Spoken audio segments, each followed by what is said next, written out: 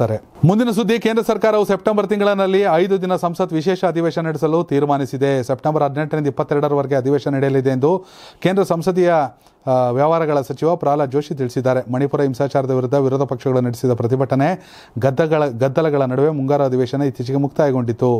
ಆದಾಗಿ ಒಂದು ತಿಂಗಳಲ್ಲಿ ವಿಶೇಷ ಅಧಿವೇಶನ ಕರೆದಿರುವುದು ಅಚ್ಚರಿ ಮತ್ತು ಕುತೂಹಲ ಕಾರಣವಾಗಿದೆ.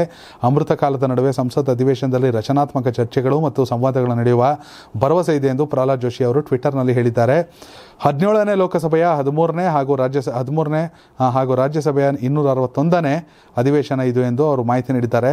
ಆದರೆ ಸಂಸತ್ನ ವಿಶೇಷ ಅಧಿವೇಶನ ಲೋಕಸಭೆ ಮತ್ತು ರಾಜ್ಯಸಭೆ ಎರಡರಲ್ಲಿಯೂ ವಿಶೇಷ ಕಲಾಪಗಳು ನಡೆಯಲಿದ್ದು, ಒಟ್ಟು ಐದು ದಿನ ವಿಶೇಷ ಅಧಿವೇಶನ ಜರುಗಲಿದೆ. ಜಮ್ಮು ಮತ್ತು ಕಾಶ್ಮೀರಕ್ಕೆ ರಾಜ್ಯ ಸ್ಥಾನಮಾನವನ್ನು ವಾಪಸ್ ನೀಡಲು ಹಾಗೂ ಶೀಘ್ರದಲ್ಲಿಯೇ ಚುನಾವಣೆ ನಡೆಸಲು ಕಾಲಮಿತಿ ಸಿದ್ಧಪಡಿಸಲಾಗುವುದು ಎಂದು ಸುಪ್ರೀಂ ಕೋರ್ಟ್ಗೆ ಕೇಂದ್ರ ಸರ್ಕಾರ ಭರವಸೆ ನೀಡಿದ ಬೆನ್ನಲ್ಲೇ ವಿಶೇಷ ಅಧಿವೇಶನ ಕರೆಯಲಾಗಿದೆ. ಈ ಕುರಿತಾಗಿ ಚರ್ಚೆಗಳು ಸಂಸತ್ ಅಧಿವೇಶನ ನಡೆಸಲು ಸರ್ಕಾರ ಮುಂದಾಗಿದೆ ಎಂದು ಅಭಿಪ್ರಾಯಪಟ್ಟಿದೆ. ಎಸ್ ಇದು ವಿಶೇಷ ಅಧಿವೇಶನ. ಒಂದು ಕಡೆ ಮಣಿಪುರದ ಗದ್ದಲೆಯಿಂದ ಸರಿಯಾಗಿ ನಡೀಲಿಲ್ಲ ಜಮ್ಮು ಕಾಶ್ಮೀರಕ್ಕೆ ಮತ್ತೆ ರಾಜ್ಯದ ಸ್ಥಾನಮಾನ ಕೊಡಬೇಕಾ? ಇವೆಲ್ಲ ಚರ್ಚೆ ನಡೆಯುತ್ತೆ. ಅದೆಲ್ಲರನ್ನ ಮೀರಿದ ವಿಶೇಷವಾದ ಅಂದರೆ, ಅರ್ಥ ಅಂದರೆ, ಈ ವಿಶೇಷ ಅಧಿವೇಶನ ಚುನಾವಣೆ ಶೀಘ್ರವಾಗಿ ನಡೆಯುತ್ತಾ, ಲೋಕಸಭಾ ಚುನಾವಣೆ ನಿಗದಿತ ಅವಧಿಗೂ ಮುಂಚಿತವಾಗಿ ನಡೆಯುತ್ತಾ ಅನ್ನೋ ಮುನ್ಸೂಚನೆನ ಅನ್ನೋ ಚರ್ಚೆಗಳು ಕೂಡ ಶುರುವಾಗಿದೆ. ಬಟ್ ಏನು ಬೇಕಾದ್ರೂ ಆಗಬಹುದು. ಮುಂದಿನ